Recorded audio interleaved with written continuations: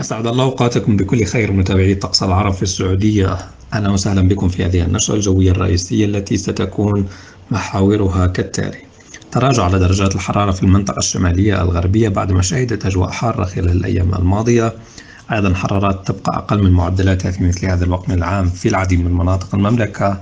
وطقس بارد نسبيا ليلا في عموم المناطق.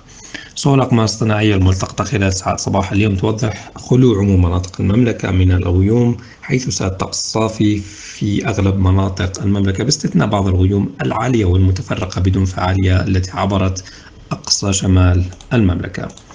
نذهب الآن إلى خرائط توزيع الكتل الهوائية من يوم الخميس إلى يوم الأحد. حيث يلاحظ استمرار تأثر المملكة بكتلة هوائية ذات درجة حرارة أقل من المعتاد درجة الحرارة تبقى أقل من معدلاتها لمثل هذا الوقت من العام في المنطقة الشرقية والوسطى والشمالية. أيضا المنطقة الشمالية الغربية ستشهد تراجع على درجات الحرارة بعد ما شهدت خلال الأيام الماضية أجواء حارة حيث تأثرت بكتلة هوائية حارة لكن هذه الكتلة الهوائية الحارة ستتراجع وتنحسر عن تلك المناطق وبالتالي تعود درجة الحرارة لتصبح حول معدلاتها لمثل هذا الوقت من العام في منطقة تبوك وأيضا منطقة الجوف.